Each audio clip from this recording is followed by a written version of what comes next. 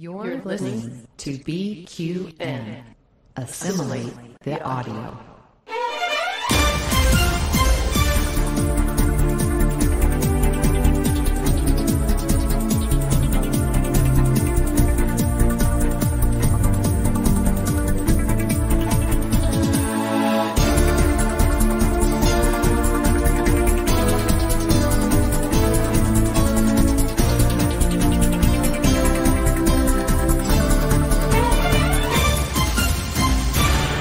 Welcome, listeners and viewers, to What's the Tea Bev, a Star Trek Universe podcast here on the BQN. I'm your host, Christos Generis. And we are back after a two week hiatus of me having a lot to do with my career and work stuff going on. We are back and just in time to cover all of your New York Comic Con Star Trek coverage. Um, a big thank you for the feedback on our first few episodes. I can't get over how overwhelmingly positive the feedback has been. So thank you, thank you, thank you. Uh, keep it coming. Um, and a big shout out to Kelvin Wood for our previous episode. Uh, if you haven't had a chance to listen to it or watch it yet, you can catch that there in the episode backlog. Remember, you can watch What's the Tea Bev on our YouTube channel of the same name or listen wherever you get your BQN podcast. Be sure to like, listen, subscribe, leave comments, all that good stuff. That only helps the podcast get bigger and bigger and bigger. If you'd like to help keep our shows coming to you each week, you can become a patron of the network on Patreon. Join the Hive to enjoy It's Green, Amy's Math Moments, and other network perks. With a monthly subscription of $5 or more, you can join our meetings of the Hive Mind on the second Saturday of each month. Visit patreon.com forward slash BQN to get all of the details and watch your messages. I'm going to jump right into this week's guest, um, a good friend of mine who I discovered I've known for at least five years now. Um, and he is now the host of Trexpert Quiz Podcast. I'd like to introduce Mr. Davey Willett. Well, hello there, Christos. How are we today? I'm great. How are you? I'm really, really good. And I'm very excited to be finding out what exactly is the tea. I love it. Well, the tea is whatever we decide it is. So that's a good thing. So, um, so, so for those of you listening, I'm sharing some pictures of Mr. Davey, if not Mr. Orion Davey. Uh, as I, I believe the first time I met you, I am in this blue shirt.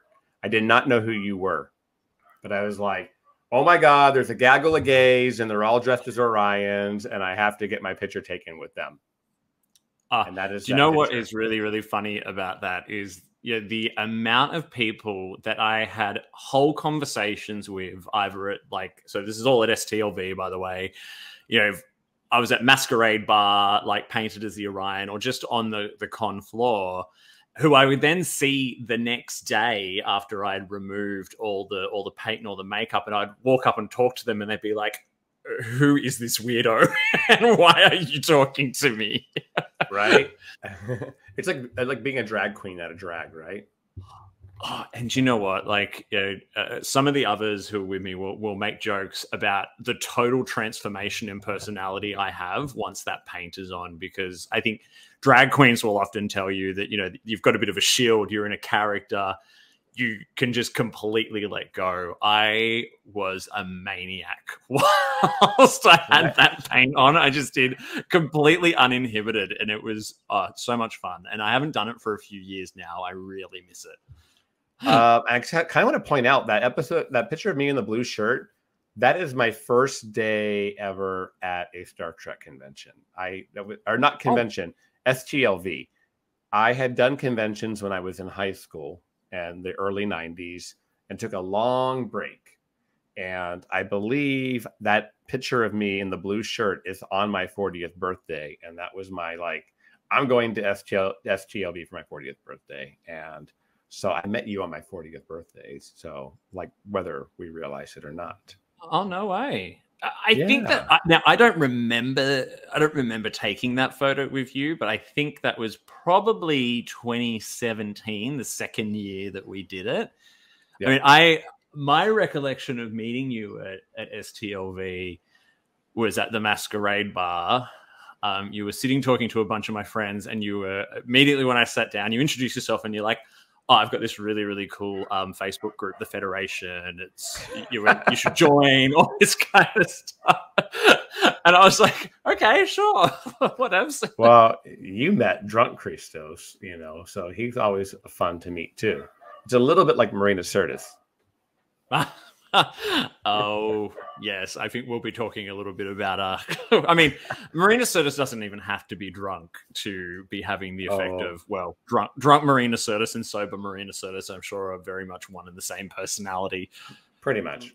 All right. Well, we're gonna do our getting to know you, and then we're gonna jump into some some big Star Trek news to break today. Mm-hmm. So, um, so listeners, viewers, you should know the drill by now. We're going to jump into our seven key questions of getting to know our guests of the week. And I think that hopefully by the time we get through all seven questions, you're going to know a lot more about Mr. Davey here. So, Mr. Davey, what was your first contact with Star Trek? Well, I I can't exactly remember how old I was. Um, I, I want to. I, I, always kind of say it was probably around about the age of eight or nine, and I was in. I was in a store. So in Australia, there, there was these stores called like Crazy Prices and and Clint's Crazy Bargains. There were these, you know, uh, like two dollar stores, like you know, nothing nothing over two dollars kind of stores. I don't know what you'd, you'd call those in the states. Uh, but we were, we were wandering around in one of them, and there was a this big um, bin of um, yeah, VHS cassettes, you know, really old movies that no one has ever heard of before. They were probably straight to video before straight to video was even a thing. But there was something caught my eye, and it was this classic episode of Star Trek, and there was there was a few of them in there. Uh, and I I picked one up, and it was only like three dollars, and it was Shore Leave from the original series. Now I, I, I picked this up, and my I didn't realize at the time that my my mother grew up watching Star Trek, and so she immediately encouraged me to get it. Um, and so this was from I remember like looking at the front cover, seeing the Enterprise, and like, what is that? That looks amazing. And I kind of had I think I kind of knew what Star Trek was already, but hadn't really paid any attention to it. And so it was funnily enough, it was my mother who convinced me to to let her buy me this cassette um, to take home. Now it was awful, awful quality. Like it was, I don't know. I mean, uh, these look like bootlegs. yeah, yeah. I'm, I'm, I'm pretty sure I contributed to some sort of, you know, illegal piracy ring. by purchasing it, but it was legally purchased in a store that had them for sale. Um, right. And there was like 10 of them and they weren't in any kind of particular order because I went back and and continued to to buy them because I wanted more and more and more. Um, and, but this was the first one. I, would you believe that like Shore Leave from season one of the original series is what was was my gateway drug into Star Trek. And you just got to look at the presentation of this. Like why are they promoting the fact that Shirley Bon or Bonnie or whatever whatever it is was was in this episode? Um, because I went I know, and looked right? her up recently, and she was in in some sitcom on CBS or something around about the same time, which I don't think was any kind of runaway hit. But hey, she's in it, so buy this cassette. Uh, but look, I, I was instantly just fascinated and, and drawn to the whole concept of it, and then funnily enough, I found out that there was a more modern version of it on TV at the same time, which was The Next Generation, which I think was in its third or fourth season. Well, in its third or fourth season on Australian television. Um, and on Australian television, it was put on at 10:30 at night on Tuesdays and Thursdays and it was because it was they could put it on like Australian network television could put it on at that time of night and people would watch it. Uh, and my yeah. mother used to stay up and record it on on VHS for me. Um, there you go. And I would get up super early and, and watch it before before I went to uh, school the next Aww. day. yeah, so my, my gateway was these. It was it was these these cassettes. I had about four or five of them, and I watched them over and over and over again, despite their terrible quality. But they just captured my imagination somehow. All right, let's get to let's get to more like some fun stuff here. Um, what is your favorite Star Trek series? Now that we've got like a thousand of them, you know what what what is your favorite as of today? All right. So, I mean, if in the modern Trek era, nothing has delighted me more than Strange New Worlds and Lower Decks. I'm, I'm, willing to bet that's a pretty popular answer at the moment. Like, uh, they, they've become like they've become my background shows, much like some of the modern era, sorry, the original era stuff um, from the '90s was. So, I've eh, Strange New Worlds. I think I watched each episode about three or four times when it was on and lower decks i've always got running in the background whilst i'm cooking dinner like i just think that lower decks is so clever and so funny and what i love about its impact on the fandom is that sometimes it's so clever that the joke just goes way over the fans heads and it takes them a while to like a few rewatches to yeah, right? and get it I know exactly what you mean. I I can watch an episode three or four times and continue to pick up things I miss. Even after watching like some of the episode breakdowns that are out there on YouTube, I'll, I'll watch those and I'll still like watch it and miss that, miss that, miss that. So yeah, I love Lower Decks. Uh, yeah, it, look, it's it's made for for people like you and me, Christos, who who who grew up watching Star Trek in the nineties. Because right. I think, like you, you, you know, it, the the series that always has my heart is TNG.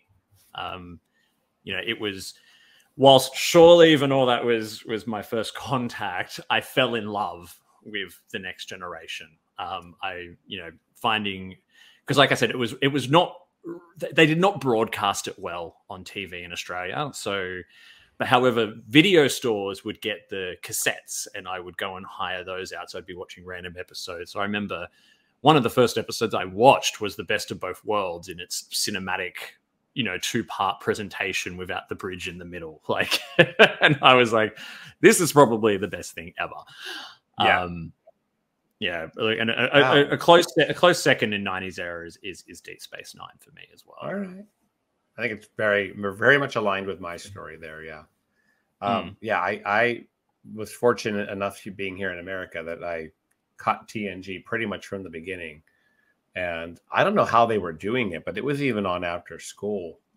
toward the oh, end oh, really? of the first season. And you know, that's you only need about four or five weeks to get through season one. So Monday through Friday. So, but I was watching that after from like four to five p.m. Uh, after school, and I loved it, loved it, loved it. Um, all right. So TNG is your favorite series. What is your favorite all-time episode?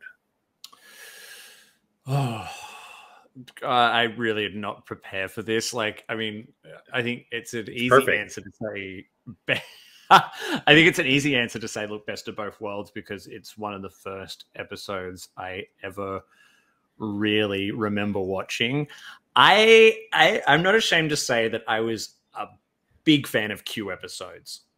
Um, I used to love Q episodes because there was something I really enjoyed about uh, just the the silliness of it. The fact that this that the this show I loved all of a sudden for an episode would become really silly, quite funny.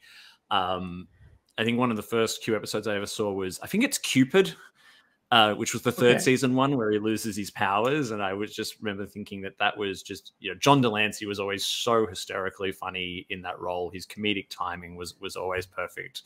Not to say that they're, they're my all time favorite, but for some reason, the, the Q episodes hold a very, very special place in my heart. Um, one episode, it, it, it you asked for my one all time favorite. I'm wondering if everyone ever gives you like a single answer to this question. I mean, um, I can't give you one either. So I mean, it's, it's yeah. kind of. Go ahead.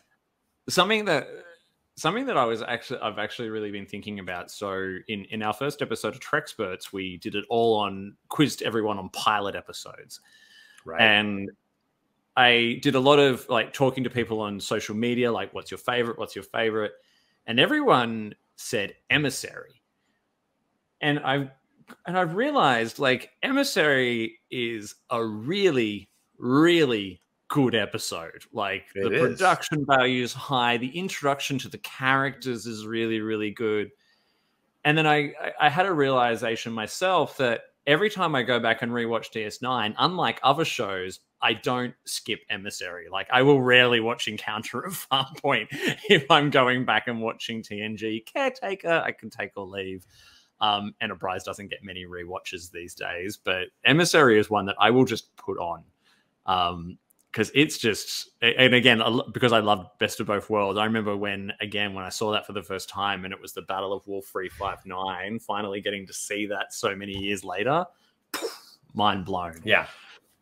Um, yeah, I loved how they were weaving Trek lore together, especially during those year and a half where TNG and DS9 crossed over and some crossover episodes and crossover storylines like the Maquis. But yeah, um, to be able to see Wolf 309, which we knew about already three or four years later, to watch it, like get to see the battle that we never saw. Yeah, and it was done pretty well, especially given that, that it was not done with like CG or anything like that. It was still a lot of you know model shots and and what have you. And apparently that blew their budget for the whole first season, um, for the most part. But it's still it's it's an exciting hour or you know, hour and a half of, of television to watch for sure. Yeah. Have you had a chance to watch um, any of the Center Seat, which is like a 11 episode docu series that uh, recently came out of? No, you mentioned it. I think on either on this podcast or one of the other podcasts that you are, um, Yeah. that you were a part of. Um, and I was actually, I was looking it up to try and find because I wanted to watch it because I thought it would be good to find behind the scenes questions for Oh, Trek. I feel like I'm ready for Trexperts because of Center Seat because it really, Yeah. but they, they go really deep into even the pilot of DS9 and the in the Ah. DS9 episode. So you don't know what your topic is yet, so. Bring it. I'm either going to do really well or or fall flat on my face. But either way, if we're talking about Star Trek, I'm having a good time. So you know. Yep, and that's the whole So- point. That's the whole point, right? So, what is your favorite Trek movie? Uh, I think you're going to like the answer to this one. Um, Oh, okay. It's it's definitely six. Oh, okay. Uh, yeah, Ding, ding, yeah. ding. Under, under, uh, I mean, uh, undiscovered country. I again, it was one of the first ones I remember watching, and I just it was so exciting. Like it was, Right. and, and you even go back and watch it now, and it still just works on on so Yeah. it works as Star Trek, it works as science fiction, it works as an action movie, you know, character driven drama, all that kind of stuff. Um, you know, similar to I think First Contact has that vibe too, but um, yeah, it was it, it's just a good time.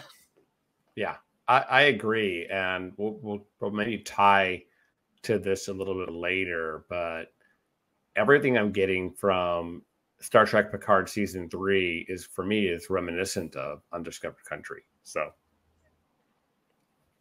we'll see. Who's your favorite character? And I love this because I have no idea who your favorite character is. So I'm, Mm. I'm going to learn just like anybody else. Look, fa- favorite character, I think changes as my life progresses. So That makes sense. if I was to tell you who my favorite character was as I, as a kid, um, when I used to watch it, when I first started watching TNG, I actually used to really like Wesley as a kid. All right, there's no, there's no need for that.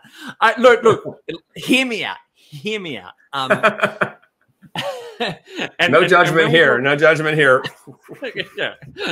Um, when there was something about Wesley as the kid genius getting to be on the starship, getting to fly the starship, that eight year old me was just, it was more that I wanted to be him um, than than anything else. Like, I Okay. just, there was something I had, I, I I was I was a pretty dorky kid. Um, you know, used to spend a lot of time playing, you know, by myself and all that kind of stuff. And you know, there was there was a lot I loved about about Star Trek and how it kind of spoke to me. And I just I saw that this kid genius who you know just got to got to fly the starship and was respected by all the adults and well for the most part when they weren't telling him to shut up. Um, Shut up, so yeah, so look, I, I, I absolutely, you know, really idolized him as as a kid, and I was kind of disappointed when when he left in the fourth season.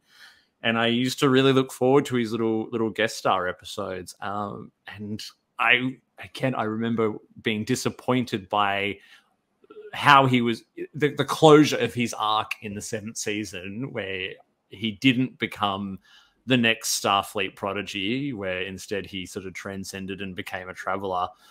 I mean, I've accepted it now, but at the time, I was like, I, as my one of my childhood favorites, I did not appreciate how they what they did for my, one of my favorite characters in the end. Yeah.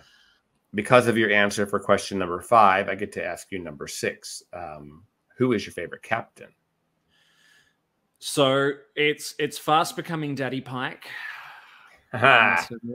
Now you, you, you did have a photo of of my dog up on the screen earlier. Uh, yes, I did. and and you know Christos, but but your your listeners and your viewers may not know that um, I have a, a fifteenth month old Cavalier King Charles Spaniel. There he is, my little boy, um, and that is Captain Pike. Um, dressed up there for so my work has a a pet of the month competition on our Slack channels.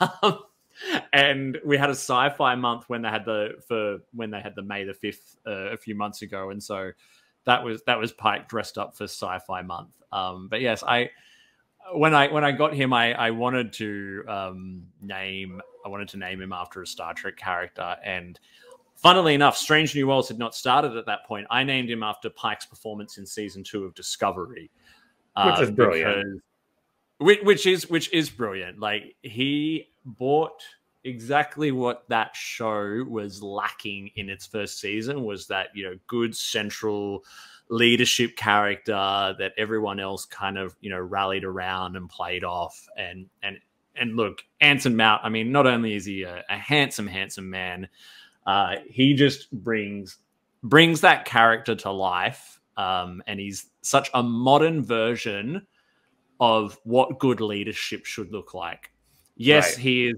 a he is a white middle-aged cisgendered male uh, but he is Whoa. so open and collaborative and he used uh, correct pronouns when uh, Jesse James Keitel was on the show and all that kind of stuff. And I was, yeah, he's.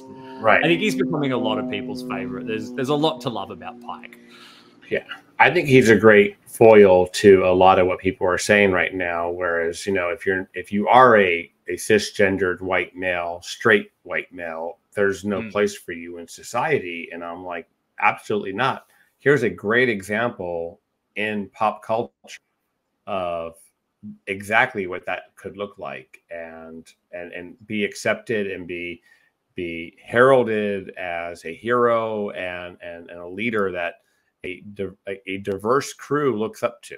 So it, it's Mhm. it's been nothing short of amazing, and I think Paramount and CBS hit pay dirt with that uh, season two of Discovery, and now Strange New Worlds. I got my 19 year old nephew to start watching Strange New Worlds as an intro to Star Trek, and he loves it. So Oh yeah, yeah. I mean, apart from the few little sort of discovery threads that are in there, um, it is it is a great modern sort of you know gateway into into Star Trek. Probably you know for young people, probably even more so than like Prodigy. Right. to be And honest. And I feel like when it does throw back to Discovery stuff, they do a pretty good job of showing flashbacks or giving some exposition to explain it. Final question before we start jumping into some some current events. Um, what does Star Trek mean to you? you know when i when i saw you send this question through i i really had to think long long long and hard about this And I don't know if my answer will make a lot of sense, but I, I think it might speak to some people out there. Star Trek gets me. Now, growing up gay in a part of Australia where it was not easy to grow up gay, you know, being a little different in many ways, I never really I I struggled to find somewhere where I fit in as a young boy, a teenager, a young man. Um, sometimes there are still times when I, I still don't quite know where I fit in.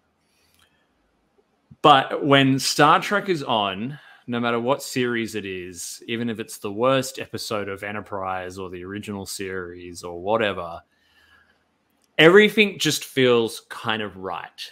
Um, I don't know if it's the you know the, the beautiful vision of the you know the utopian future where humanity gets better, um, but there's something about it where it's it's my place and it's my home. Now mm. I will fast forward that answer a little bit to my first visit to Star Trek Las Vegas, which was the 50th anniversary year in 2015. Uh, oh no, 2016. Sorry, um, 2016.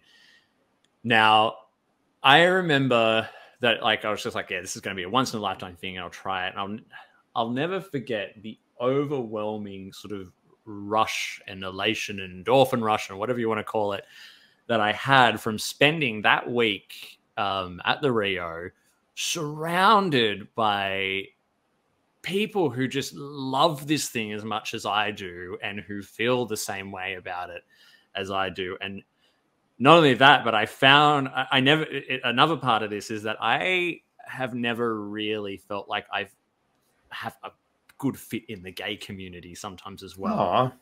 And then all of a sudden, I've and it's it's it can be hard to kind of find your, your niche in it, I guess. But uh, there were so many gay Star Trek fans, especially gay men, at yep. STLV, and I was like, there was just something about it. I'm like, this this is me. This is my place. These are my people. This is my mm. tribe. Yes, um, finding your tribe. Star Trek, yeah, Star Trek gives me that. I've met people like you and and Kelvin and every and you know I know every most other people on the BQN as well. Um, and you are all totally my people. Um, and it, it's as I said, it, it, it gets me you all get me, I all get you, and um, I all get right. you.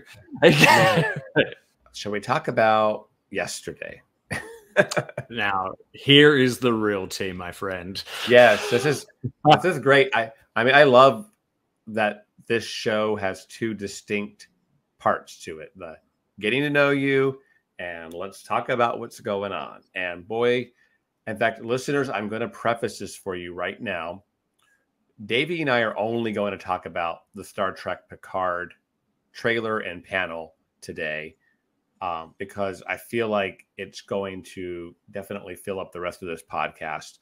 Next mm-hmm. week, we will cover the Prodigy and Discovery trailers and those panels as well. So, got all that business out of the way. So, Star Trek Picard, first and foremost, let's talk about the actors being together yesterday. Um, I think most people saw either if you got to if you got a chance to watch the panel um, which you can get now on YouTube. I believe you can watch it, or if you had a digital ticket to NYCC. Um, if not, you saw the pictures on Twitter, and it's the first time, at least not on screen, because obviously a filmed Picard season three, but it's the first time in public that the TNG cast has been together since STLV 2017 for the 30th anniversary, which I was there for actually. Mm-hmm. But uh, same. But um, what were your what were your thoughts, Davey, at seeing everybody together yesterday? Look, nothing.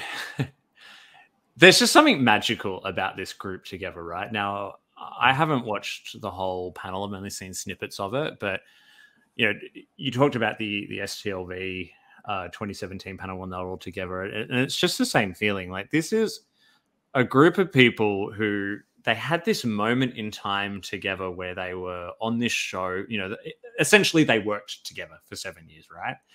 Um, and, and how many of us can say that we probably still have such close friendships uh, with people who we worked with years and years and years and years ago, like to the level that these people have. And there's something to be said about that in terms of just why this cast works so much, you know, because I was watching their their Entertainment Weekly interview that they did after the panel uh, this morning, and I think it was uh, Marina Sirtis actually said, "Do you know what? We actually like each other. Like we really like each other." And then you just sit there. There is just so, and and that comes through on the screen when you watch them all together. I every time I just smile ear to ear every time this group of wonderful humans are, are together. I just love them. Yes. Yeah. I I just got excited. Like, you know, you, and you always see onesie twosies, right? But seeing all seven of them together again, I I just got all the warm feels and exactly that. You you watch their dynamic together and you're like, you're at a point where a lot of them, you know, they don't have to agree to do some of these things. They do it because they want to. And it definitely shines through. Yeah, yeah, definitely. And you you pick up on all the, the fun little personal dynamics that they have. There's there's something I find fascinating about you know seeing the relationships between you know Star Trek cast members. Uh, especially, I just love how Marina just lays into Patrick Stewart about being old. yeah, because I don't know if you've seen that Entertainment Weekly interview that they I just talked oh, yeah, about. But... with the microphone flip. Yeah, oh. he's, he's got his microphone upside down. Which I mean, like, at it's just it's it's like it, it's like I don't know. It's it's the Patrick Stewart version of like calling your mum or your dad on Facetime and they hold the phone right up to their eye, right? Or something like that. And you're like, at the same time, he's Patrick Stewart, and we have mad respect for him. And but he is kind of like, you know, old grandpa now too, in some ways, where it's like, turn your microphone oh, yeah. right side up. You're, you know, but you know, when he does talk, I mean, he's oh yeah, and the so man has mellowed the man yeah. has mellowed over the years. Like, yeah. yeah, he well, and I've seen interviews with him from like old Entertainment Tonight interviews and stuff from when Star Trek first started, and he admits it himself. He was he was a serious fella back then. You know, you know typical yeah. kind of man in his forties at the time. You know, everything very serious, no time for jokes, and you know they talk about what he was kind of like on on set at that time. And now oh man, like just everything's everything's a joke. like he's yeah. always uh, he's just super silly, and I love it. It was funny. Like the one thing, um, I, I know you said you hadn't watched the panel, but one thing he did say yesterday was he was very open for another feature film of TNG. And and then Jonathan Frakes jumped on that bandwagon on Twitter. So I'm like, all right, are they campaigning for a feature film, and obviously they probably wouldn't even greenlight anything like that until they see how well mm-hmm.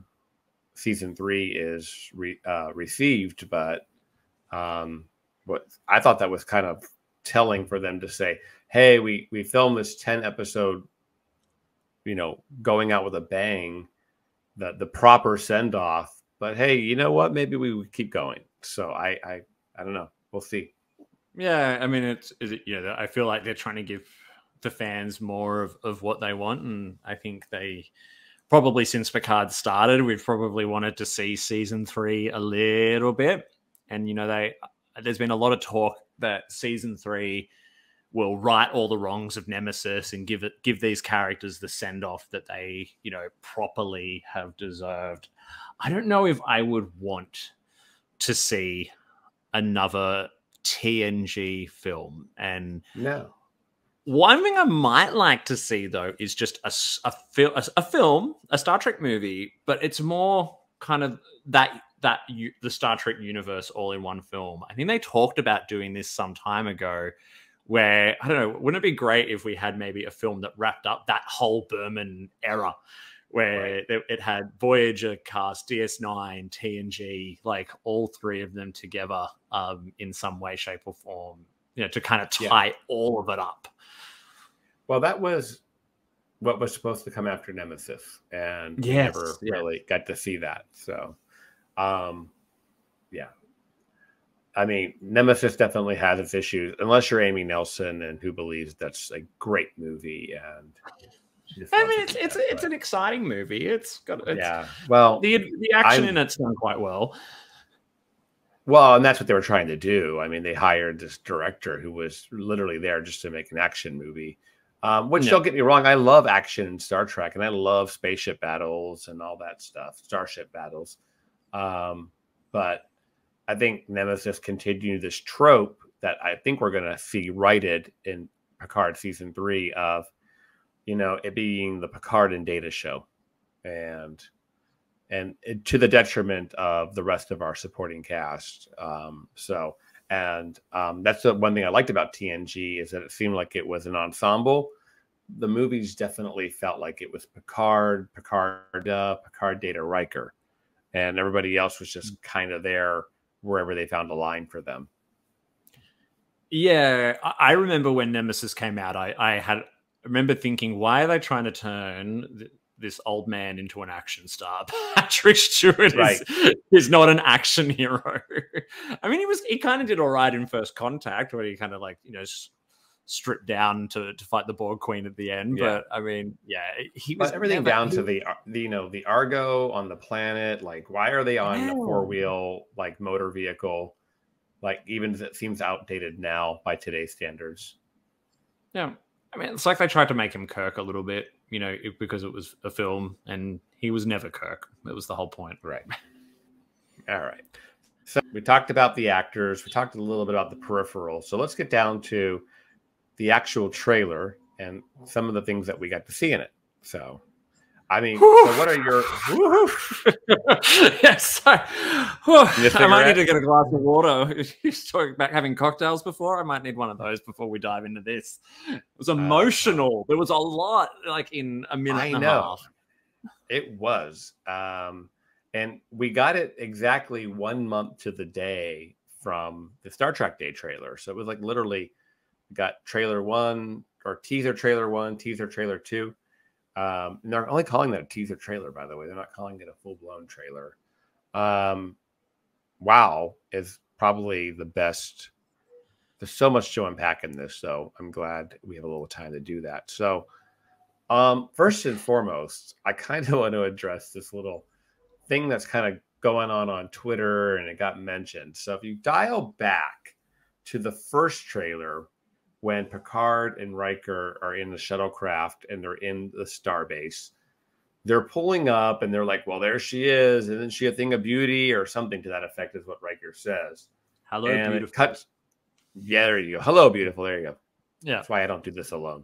Um, uh, and they jump onto the Titan, and they're like, "Oh, well, they weren't looking at the Titan because that wasn't even Riker's Titan." Um, Mm. And Terry, with they showed the Enterprise F yesterday, which we'll get to, and many people asked on Twitter, "Is that what they were really looking at? Was the Enterprise F?" And Terry Matalas said, "No." I Mm. think the answer is the the the recovered Enterprise D saucer section from Veridian, whatever planet from generations that it crashed on. I think it's been recovered and is now a museum.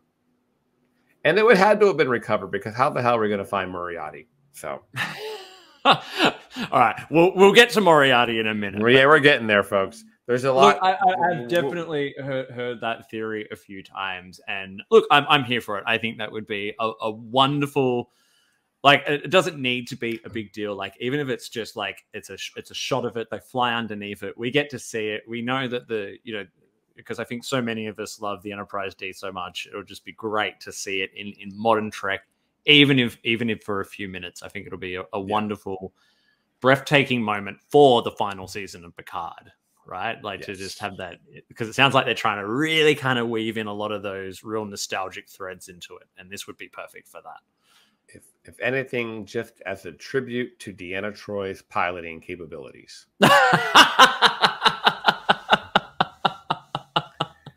Don't shoot her from underneath; it's all scraped up. Okay. She's like, oh yeah, I got this. I did my command training. I can fly the ship. yeah, I always like to throw it out there too, though. Like everyone loves to pick on Deanna for Nemesis and for Generations, but like I think Beverly says or it's it's said somewhere. Maybe I'm crossing deleted scenes. Nobody died in the crash landing of the D. So. Yeah, they never kind of really cover off whether many people died or not. I mean, it seemed like they uh, uh, uh, you, you, didn't you didn't see any of those horrific scenes of people getting stuck behind the um you know the containment barriers in the drive section or anything like that. Um, I did always wonder why having they were having, having their back broken by a barrel. oh yeah. I always wonder, and we're kind of almost a little off topic, but I, I've always wondered when they're doing that big evacuation scene. I know it's totally for dramatic effect, but if the drive section is meant to be all engineering and all that kind of stuff, why were there so many kids down there? Why? Right. Why were they having to none? Well, exactly. I mean, e- e- even the schools would have been in the saucer. Exactly, exactly. It's Yeah. like, oh no, we just want this emotional scene with the teddy bear. Yeah. Yeah. And apparently sick base is, is down in the drive section too. So I'm like, I never thought that until that. So Yeah, yeah. All right. I mean, as I said in Lower Decks, you can do anything in a movie. So kind of sticking with first and foremost, let's talk about our, our ship porn that we get to Woo! see. Um, do we ever, right? Um, woof. Sorry, First off, I just need a- I just need a moment. I liked the Titan A after the first trailer. I love it after the Mhm. second. yeah. And Mm, and um, so those of you who are listening, we got some graphics up of the the Titan and the Enterprise F and and Starbase, and my next graphic has even more of the Titan. But um, yeah, it's a beautiful ship, and I didn't even realize that the saucer isn't a complete saucer. It not complete it's circle. horseshoe. it actually it's yeah, it's more of a horseshoe. Um, and um, I'm I'm here for it. That those aerial shots, you know, I'll just jump right to it. Um, you can kind of see it down there in the bottom corner. Um, yeah, that aerial shot they show in the debris field, or Mm. I don't know what what kind of nebula they're in. That, that's a whole other conversation to have. There is they're having some sort of cat and mouse game. The Titan looks rather powered down in that one shot. Yeah, like it's that neo constitution vibe. Like I was not sold on that originally. Uh, but now that I've seen it in action, and like you can you can see it in some of these close up shots you've you've got on for the video version at the moment, like just yeah, because I just I, I just watched um uh, motion picture at IMAX yesterday, and I can see like all those some just gorgeous, not over the top, but gorgeous little throwbacks to to the Constitution. Um, and it's just it's just beautiful, even to like the little like where the little phaser arrays are and and how the windows are. There was something about seeing it in action, which was just like, yep, no, this is Right. it. This is this is the future of Starfleet, and I love it. right. The Constitution A, I will reiterate, is my favorite starship, and maybe that's a question that needs to get added to Mm. what's the T. What is your favorite starship? Oh, look, a, a very big fan of, of, of the Enterprise D for sure. You know, it Okay. was Yeah, that's probably my second. So Yeah, and look, I'm a, I actually really I I I I've got models of of the Constitution refit and the original Constitution in my study, and uh, there's something I love about both of them. There's just something so wonderfully classic and, and beautiful about both of them. So I, I Yeah. agree with you on the on the Constitution refit for sure. I really enjoy the Strange New World version of the Enterprise because I feel like it's a little bit of a blend of the original and the refit. There's there's Mm. elements that are it, it's kind of like taking in both of them, kind of blending them together. If there was an intermediate stage, that would be it. Yeah, yeah, totally agree. Yeah. Um, one of the things I wanted to point out in the trailer, um, especially with this top image where the Titan is kind of making its way and it's being pursued by, oh, they told us what ship the other ship was, but I forget already. Um, you can see that it's been hit and damaged, and it's got battle damage to the hull, and it's the way the effect is is reacting. It's very much like how the torpedoes were the torpedo damage in Star Trek Six: The Undiscovered Country was uh, the Hmm. Battle of Khitomer, and I love how they're bringing those same kind of throwbacks back to um, to this show. So it's pretty cool.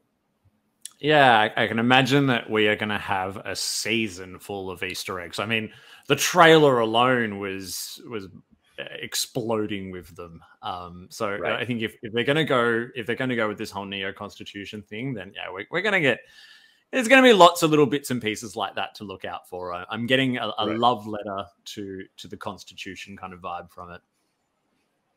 And um, I think we see a big starship gathering around space dock at Earth of mm. what looks to be hundreds of starships. And I can only think that it's for the inauguration flight of the Enterprise F. That's what I think was going on there. I don't know what you think about that, but pure speculation. I don't have any in, any inside information on that, but that's what I think. Yeah, no, you, you you you could be right. Like, I wonder if we will get much of the Enterprise F apart from this little flyby of it.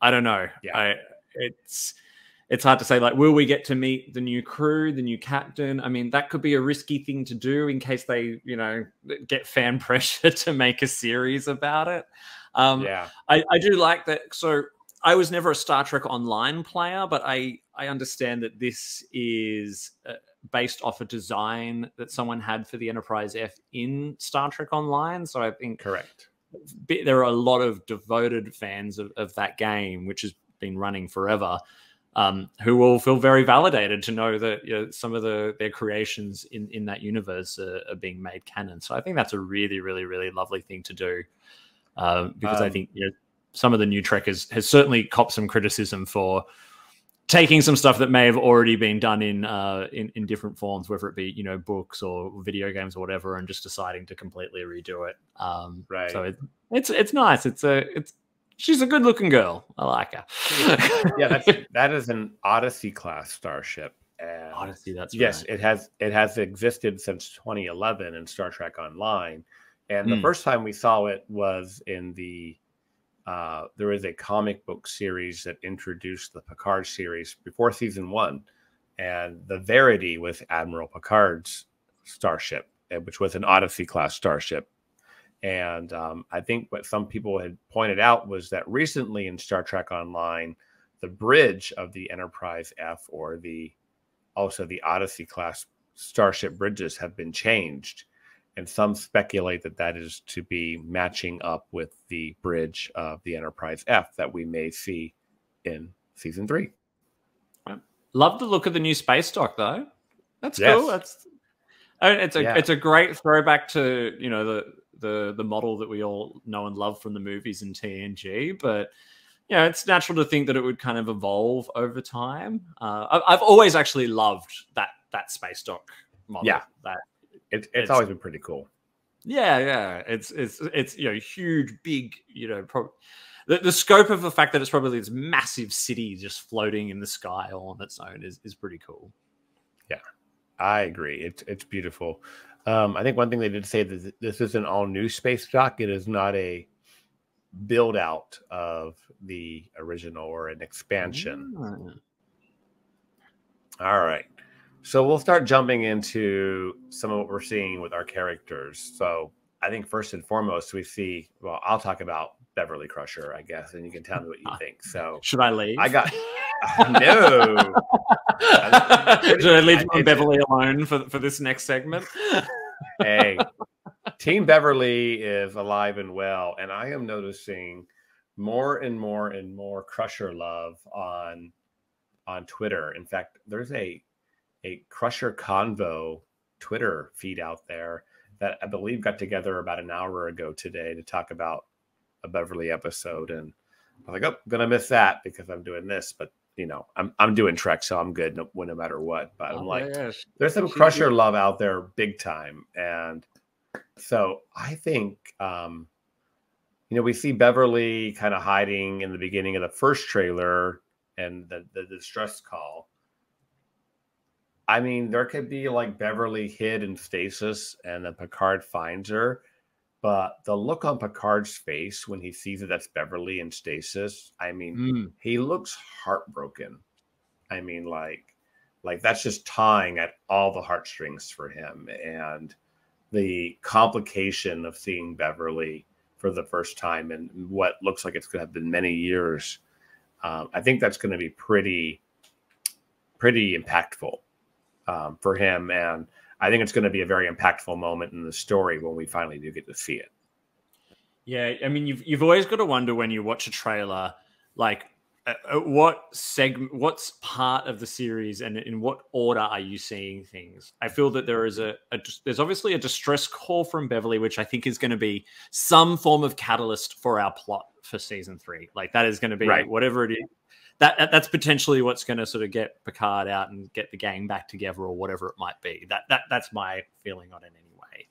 So, I mean, obviously, at some point, he he's going to find her but like is is the first time he finds her when we see her in stasis here or when they're having the conversation here when she's like it's going to be attempts on your life like it always is um, oh i got it, i got thoughts on what that is oh, okay, okay, i think i think this i think that's about their relationship and like i think he's, they're literally talking about why they're not together and i think she's mm. saying i can't deal with your constant you know you're always in danger you always have been it's the mm. constant attempts on your life, you know.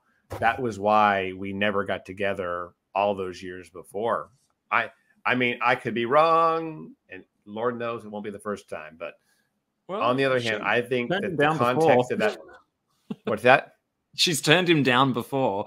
She's she's always admitted to you know that the feelings are certainly mutual, but she's whether it goes back to what happened with Jack or whatever, she is always gotten close, but she's always been the one to go, no, ma'am.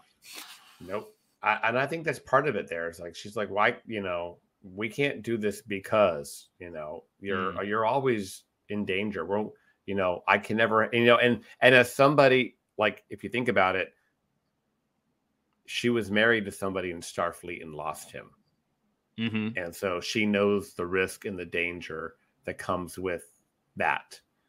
And mm-hmm. so, of course, she's guarded about it because she's been through it before and she doesn't want to do it again. But mm-hmm. um, looks like she's in. Met it looks like she's in sick bay here, by the way. Um, in the scene, looks like that's yeah.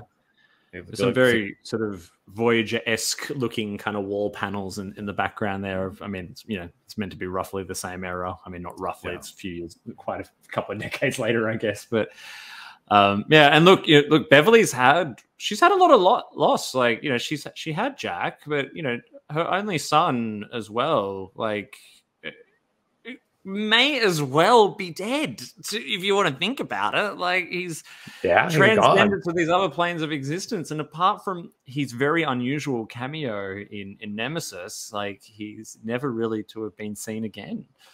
Yep. And she lost Ronin. Yeah, that's right. oh, poor Ronin. Oh, bless her.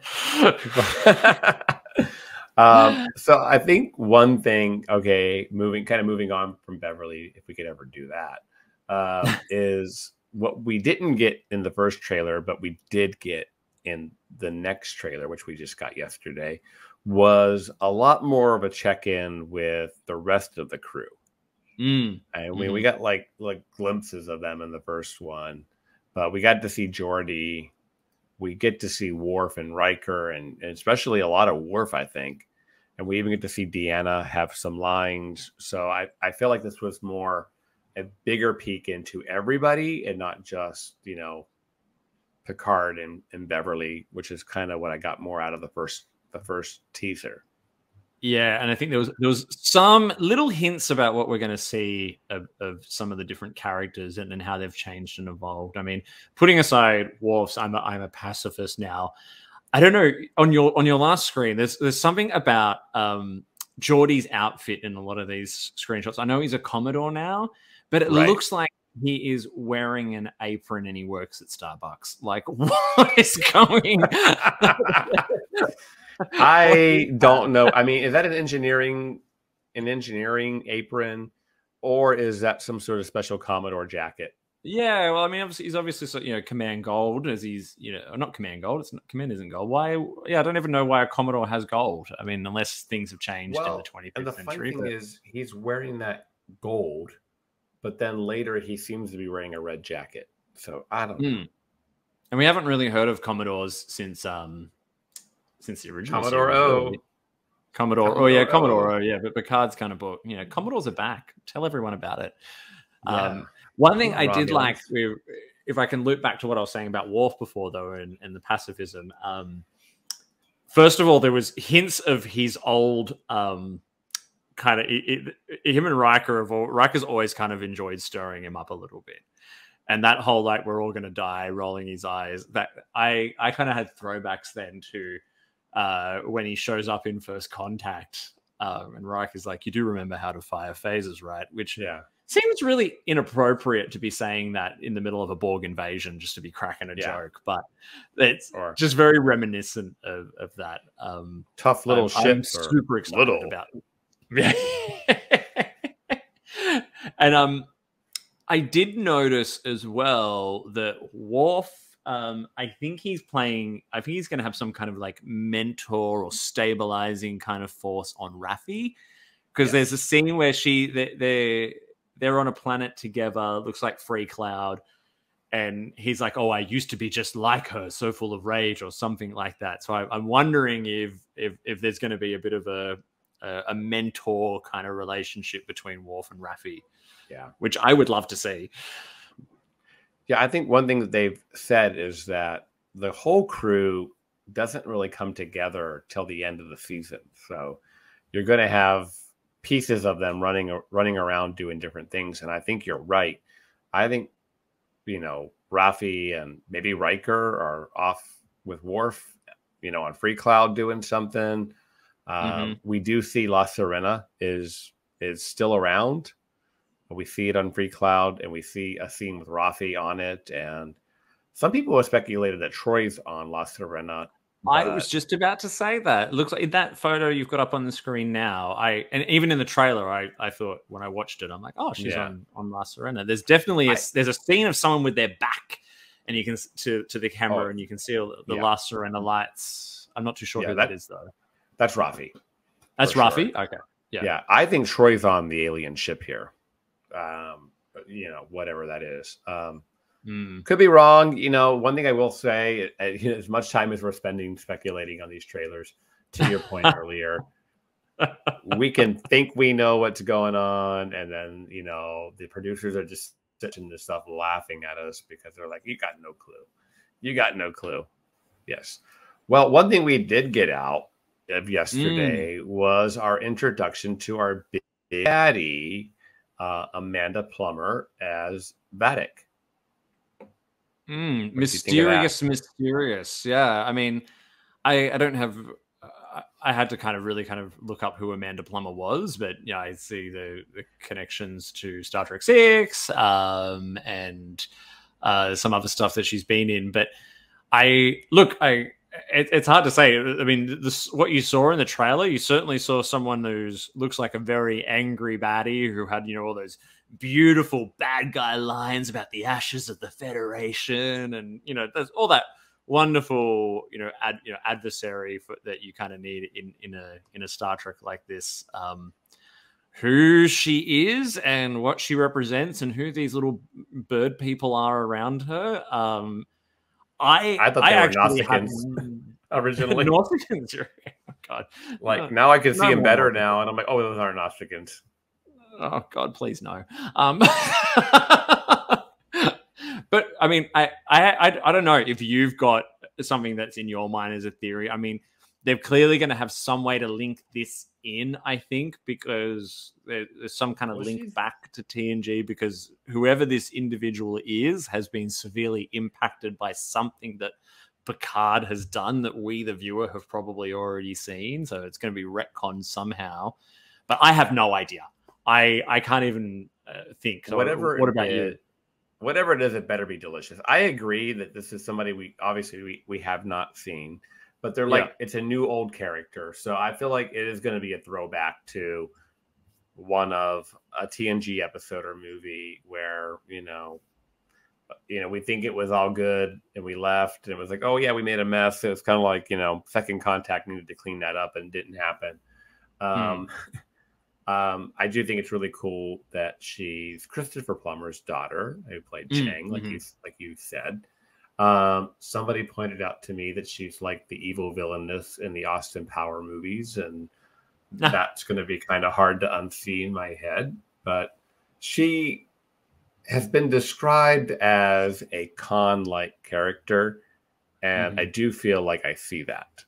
Like, oh, she yeah. definitely, there's definitely, I mean, there's some mad wrath vibes coming out of this whole thing with the the the villainness and even like the the the, the cat and mouse in, in the nebula or whatever the brief field that they're in um, i feel like there's a lot that gives me in beverly's coat from the last trailer. Um, i don't know. We'll see. But um, i feel like she's definitely somebody who's pissed off at jean-luc. And um, mm-hmm. i hope that it makes sense why she's pissed off. She's Dr. Pulaski's daughter back for revenge. oh. could there be could there be a Pulaski tie? Come on, give us if you want to give us real full closure, let us know what happened to Pulaski. She's suing Starfleet. I just gave you a little tingle just then. You were like Matthew Dempsey just had a little tingle. If he's still. Oh yeah, in your first yeah. episode, he, he, was a big. Yeah. I agree with him. I am a, I am a, I'm a Pulaski fan. Um, it's a he total. Texted me the other day. A little yeah, shout out to Matthew. He texted me the other day, and he texted me a picture of uh, this uh, uh, collector, you know, playing card that he got a Pulaski, and it was autographed, and he called it the Holy Grail. Said something back to him like everybody's got to have scratch paper.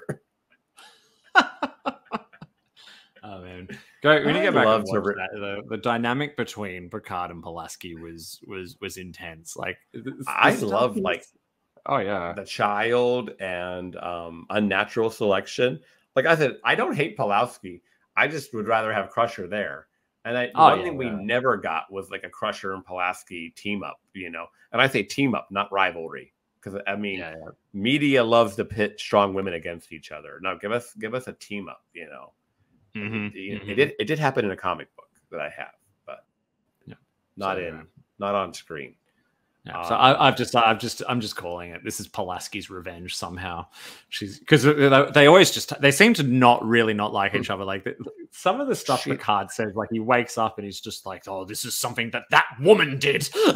they're, they're, they're those genetics from unnatural, un, the, the you know unnatural selection, the genetically modified children that were on that uh, that planet that gave the disease. Ah. Yeah, that's what she is. She's one of those. Yeah, yeah, yeah. And look, and all the and all the little bird mask people, not little, the giant bird mask people behind her, they've all.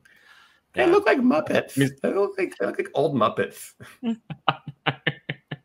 I'm sure they'll be very menacing once we actually see them in action. Uh, for real, for real. Uh, well, uh, well, more to more to come on our our villainous, but um, I mean, we're all here for it, right? Um, okay, well, Ooh, we yeah. Another... This, sorry, this was the last spoiler I was disappointed with. Um, and, I, and and and listeners, if you're not watching, I, I just clicked up to an image of Brent Spiner as Lore. Uh, didn't we hear like Data, like Geordi say Lore in another episode? Yeah, yeah, like Yeah, into, it's the same way he says it in Descent Part One, where it's like, yeah. like you know, Lord. yes again, lore.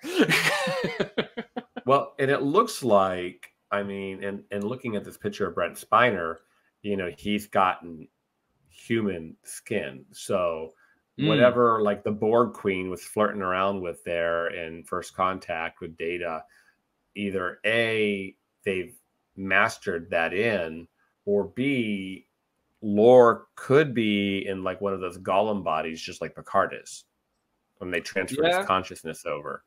So that that's possible, yeah. Like I, there with everything they kind of explored with you know the evolution of Soong type robots or Soong type androids. Sorry, um, in the first season of Picard, I think there's there's plenty of reasonable plot explanations for him being back and being in this body whether he's mutilated some human and taken their skin or transplanted himself into a more a more modern android body. But Um, as as a few people have pointed out, I've in in a couple of different YouTube videos and and blogs and all that. Still got the yellow eyes though. Yeah. Well, I think whatever they did, they found a much more comfortable way for Brent Spiner to portray the character without Mm. having to be in a lot of makeup Mhm. or heavily CGI'd in post production as well. Yeah. So, I mean, kudos. I'm, I'm just glad that if it's lore, I'm okay with that. I Yeah. was not looking forward to another character for Brent Another Spiner. song. Yes. I, I think from the look on his face here, like Lore has always been, you know, the evil, the evil twin, but there was always kind of a jovialness to him in terms of, you know, he was.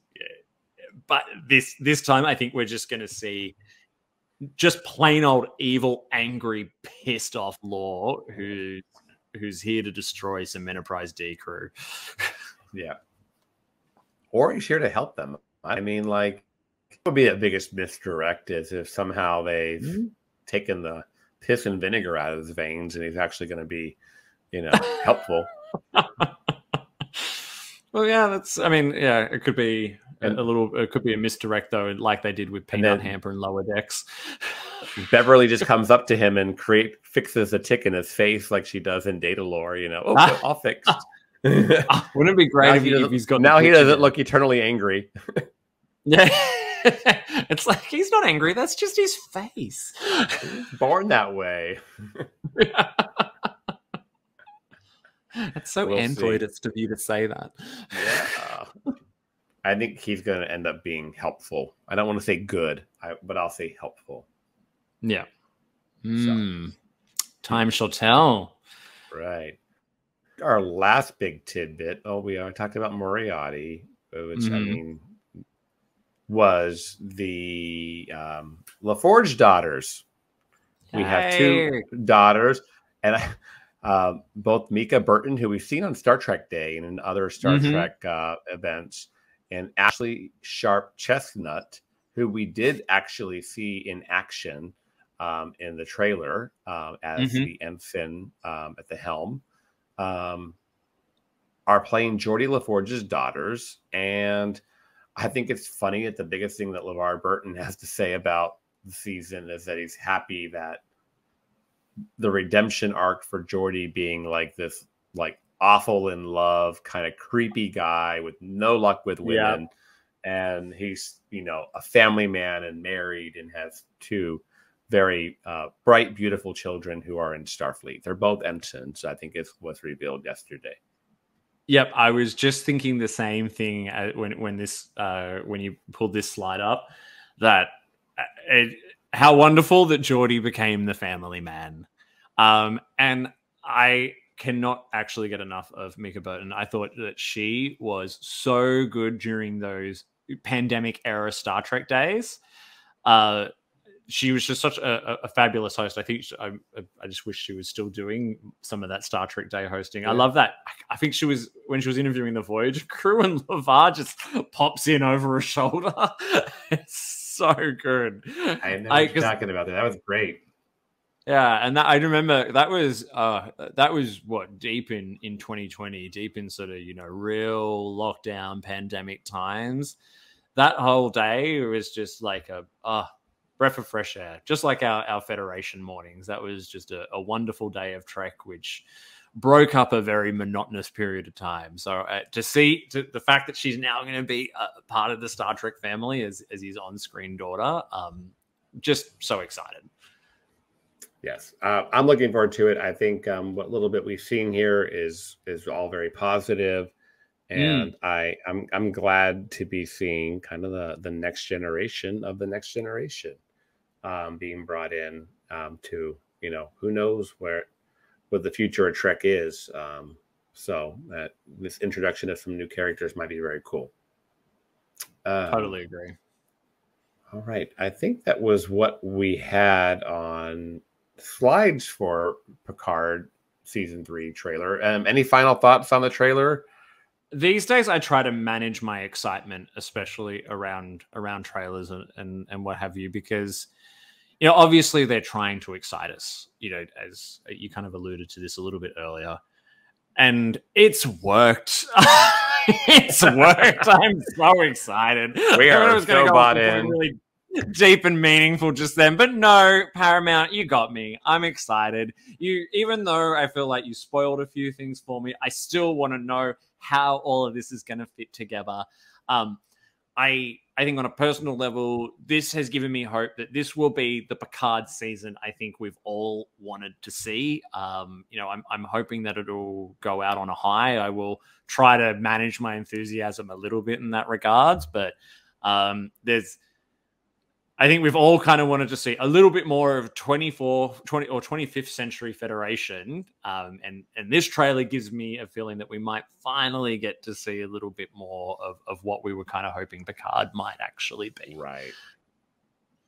Yeah, I I I, I don't think you could have said that better. Um, I liked season one of Picard. Could it have been better? Yes. Did I mm. like season two more? Yes. Could it have been mm. better? Yes and now we have season three, which I think is looking like they're going for a grand slam. And my hopes are there. I mean, February 16th can't come fast enough, which, like, for me to be saying, hey, let's skip the whole holiday season, I need to get to February. Um, that sounds kind of weird to be saying that. But um, yeah, it can't come soon enough. And um, they're definitely setting the bar high including, mm. um, w- you know, the, the, teases, the trailers, Terry Matalas and and the likes of on Twitter with all the hype. The actors, especially Jonathan Frakes and Gates McFadden, have done a lot to try to hype up the season. The rest have been more more silent. Um, yeah, I I'm all there. And as a Beverly Crusher fan, the way this season keeps on being portrayed as the stars of the season are Picard, Crusher, and Riker. Uh, mm. That's been said a lot recently. That is amazing to this Beverly Crusher fan, um, and um, and I feel like it's you know if you know four years ago or whatever it was when we were at STLV, the 2018, and they announced this Picard show. For me, just the glimmer that maybe Beverly Crusher would come back even for a cameo was enough for me to hold hope. Mm-hmm. To see that she's kind of being the catalyst in the lead for a whole season is uh, like far more than I could ever have asked for. So I feel like it's just like this thing, this ride that we're going to be going on that I just kind of want to like savor every moment of it because it's exactly what this you know 10 year old gay boy who identified and loved beverly crusher from from season one um to see her kind of getting you know for everything that they did right for the character they did some wrongs. And so for them to be mm. coming back to like do her right i'm thrilled. So i'm i'm i'm i'm, I'm, I'm optimistically excited and i just you know i trust in terry Matalas and what he's saying yeah, and look, and and Gates McFadden has said it herself. I think that this is uh, one of the best story that she believes that the character has. Ever, I, I, I might not be uh, representing that correctly, but she's very excited that there's a lot of like wrongs that are being done right in the way right. that the, the character is being written and treated this season because she's certainly i mean you know the reason why she left in season two right there's been, certainly been some mistreatment of, of, of her as as, a, as an actor and, and beverly as a character um, and as a strong female character in the series over time. So i think yeah we're definitely they're, they're definitely trying to put everything back where it should be. Right. Yes. I think it, it's a nice bow they're trying to put on these seven characters. All right. Um I'm going to ask you my my uh, kind of back to our, our our questions earlier. I had a final question for you. If oh, yes. you could create the next Trek series, what would it be? So what, what's gonna what would you like to see happen to Picard's? You know, by by May, Picard will be done. Yeah. What would you like to take its place? Do you know what I was? I was actually thinking before you even asked me, I was thinking about this this morning whilst I was out walking Pike because Picard's about to be done. I think Discovery probably only has a year or two left in it as well. Um, and I was like, and you know, we'll be left with we'll have Strange New Worlds on, which is wonderful, and you know, Lower Decks will pr- probably still be going strong. But um, do you know what? We need something. Well, I I feel we need something a little bit more original, and something that's not based off existing characters set midpoint in the timeline. Um, you know, I think a new ship in a future state. It can be in it can be you know a couple of decades past Picard, whatever it might be.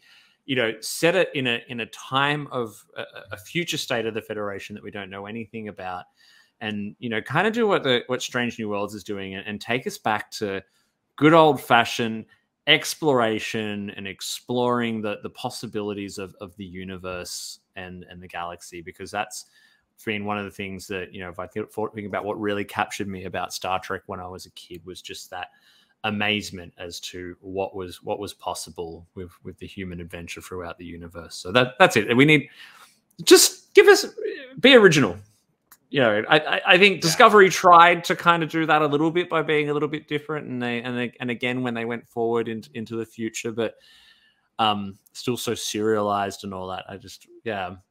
Time time for time for something new and to and to and to go boldly forward.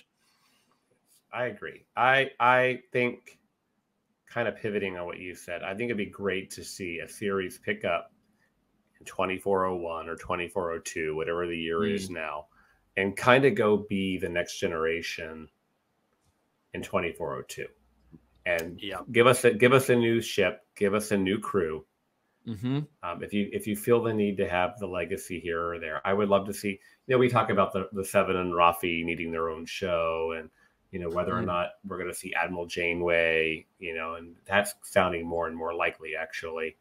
Um, yeah. But you, you fundamentally need to give us an eighty percent new show.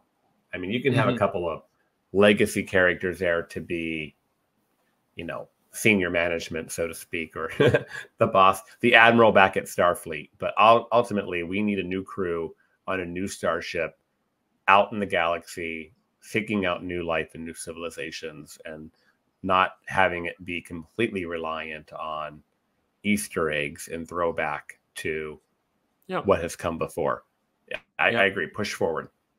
Yeah, and that like kind of like how I think with Gene Roddenberry with TNG, he you know resisted uh, any sort of like crossovers. With, you know, there, there was some mentions with the original series, but I think he even kind of resisted DeForest Kelley being in, in the first episode because he just wanted it to stand on its own two feet. So, right. you know, eh, that's right. I, I think you, you kind of paraphrase what I was saying there really well. There, give us give us the TNG of of the modern era. Um, yeah, I, I would love I would love them to be bold and to and to try something like that.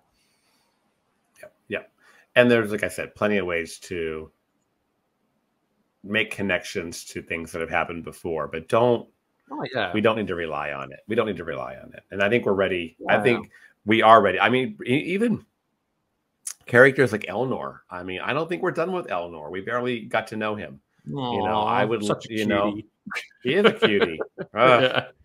really nice guy too um, but mm. yes he's adorable and i'd love to see him maybe on that ship. He's at Starfleet Academy now, right? Let's maybe put yeah, him as a crew. That could be your link.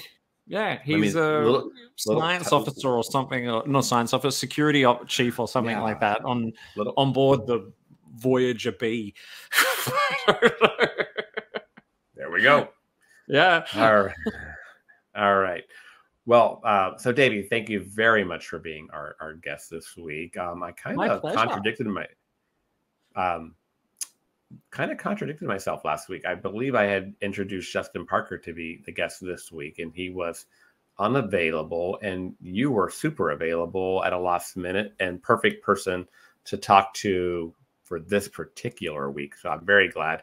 Um, and I believe we can maybe uh, announce a little bit of a, a two week cheap crossover. What do you call it? A crossover? Oh, we could we could definitely call it a crossover. Crossover I mean, event, like you know, like DS9 yeah. TNG days. Yeah. So, yeah. Well, I mean, um, as you mentioned at the beginning, I've, I've started my own podcast, um, Treksperts Quiz. Uh, and we've we've only done our only done one episode. I've never done a podcast before, but it was so much fun. Um, and so each week on Treksperts, we get uh, two self-proclaimed Star Trek experts, and I'm going to pit them against each other in a bit of a, a, a some cutscene to the Death style battle. And uh, Christos, you're you're joining us for episode two as as one of one of two Treksperts who are going to battle it out against uh, against Kelvin, who was uh, a guest on an earlier episode of yours as well. Yeah. So listeners, you've heard you've you've met Kelvin on the previous episode three and you're going to see him again on Treksperts with myself. And I have no idea how we're going to do. By the way, I'm either going to know, but I listened to your first episode, which listeners, it's out there already. Um, Treksperts quiz. Go get episode one and listen. There were some hard questions in there, like. Yeah, I was. other ones, I'm like, I know, I know, I know yeah. Well, look, that's what I was kind of hoping for is that we would get that, you know, people listening along would be screaming the answer out, even to some of the harder ones. But oh, Christos, I was I was writing your questions last night. Your your topic is so random. but it's um I, I think you two are gonna are gonna have some fun. Well, I'm gonna like not comment at all because you're in a position to go make changes. So I mean, all right. All right, let's see here. We would love to hear your thought on today's episode and hope that you'll join our Facebook group, the BQN Collective, to continue our discussion there. You can also tweet your thoughts to at What's the T Bev. We would love for you to reach out. We love interaction. Please join. Please follow the network on Twitter and Instagram at, at BQN Podcast. Don't forget all of our other great shows here on BQN, like Galaxy Class, all Good Things, which I'm a regular on as well with Mark White and Amy Nelson, Union Federation, Infinite Diversity, Mickey's Marvels, and one of my favorites, History with the Zalagis. So, Mr. Davey, where can people find you when you're not putting people in cryostasis? Hmm. Well, when I'm not doing that, which I do regularly, by the way. Um, so, you, look, you can follow the show. Uh, we have a, a, Facebook group, an Instagram, and a Twitter. Probably more active on the Instagram and the Facebook group, um, which is just Treksperts Quiz. Uh, and you can certainly find find us uh, our podcast on uh, any of the platforms that you get podcasts from. Uh, and you can also follow me personally on Instagram at Dingo Dave 84 Awesome. You can find me at, at Greek Geek SD on Instagram and Twitter, as well as at What's the TBev on Instagram and Twitter as well. At this time, we would like to thank our associate producer. Oh, look, it's Davey Willett. Thank you, oh. Mr. Associate Producer. You're welcome, listeners. You're welcome, Christos. I give you this beautiful gift. and and that didn't that is not the reason you're our guest this week. But um, no, no, no, no, no nepotism here. no nepotism. But um, um, if you'd like to contribute, though, you can join on the Patreon. Um, it, it, it's I was very touched that you actually came out and and and sponsored the show that way. That was very sweet of you. Oh well, it's and I, am glad I did because I when I, I, thought this was fantastic. It was, and to be quite honest, you starting this show is what inspired me to uh, to start my own. Um, I've been listening yeah. to all of you on the BQN for a while. I'm also an associate producer for Galaxy Class, um, and yeah. I, when you invited me on, I, I, got excited about it, and then I started. Literally that same day, I was walking to the gym, and I was like, "What would I do if I was going to do a Star Trek podcast?" And yeah, it's funny. I start.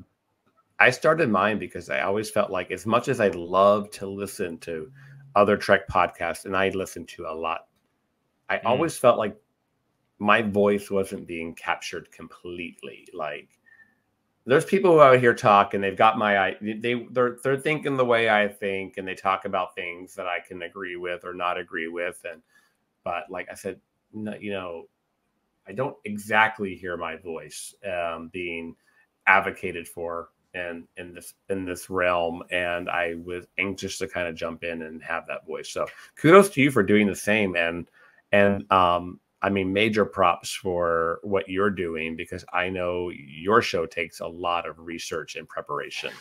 Uh, it does. It does. But um, I've gotten I've gotten to a bit of a sweet spot with my prep where I've I've, got good planning for who's coming up and what the topics yeah. are going to be. Very much the guests usually drive inform what the topics are going to be. Um, yeah. So yeah, it's it's good fun, and I'm I'm excited to to see it grow. And I will say, I'm looking at the time here as we're about to close out here, and I see that we have been recording for an hour and 45 minutes. And even when I go and chop out the blubs, it'll at the most it's going to get down to an hour and 40 so listeners here's your very special double length episode with me and Dave. it's the best and of both worlds of what's the, the team have way exactly. the warrior thank you so much for showing up commander shelby and once oh, again we need to see more of her i wonder if she'll make a comeback Oh, maybe I'm Shelby's here, got here for that. Never mind. That. this is why it's an hour and 45 minutes because you and I could just keep on talking. I know, right? well, listeners, hopefully you'll still be subscribed and listening after this episode. Thank you for listening again. And we hope you'll join next week for more tea on What's the Tea Bev. Farewell.